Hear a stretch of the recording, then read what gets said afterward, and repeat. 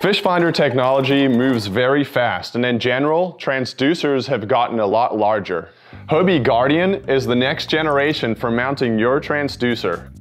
It follows our fish finder ready system, so there's a large cavity on the underside of the kayak protected by a shield, and then there's a scupper hole for running your transducer cable into the boat where there's a wire plug pre-installed for you. There's also two more wire plugs installed on the left and right hand side of the kayak so that it's very easy for you to run your power and transducer cables to your head unit.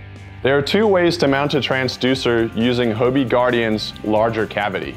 The first and more traditional way is mounting a downscan or regular sonar transducer inside of the cavity where it's protected and gives you the most accurate readings like we've done for years.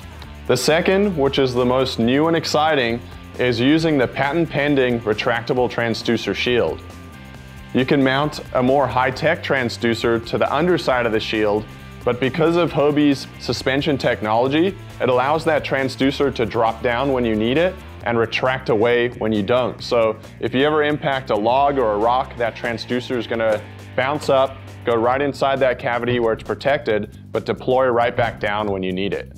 The benefit to being able to drop these new high-tech transducers down below the kayak where they're completely exposed allows you to take full advantage of the technology such as side scan where you can see what's on either side of your kayak.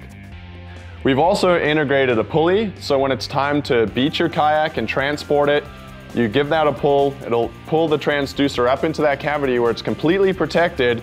You can slide it into the bed of your truck or up onto your roof racks and get on your way.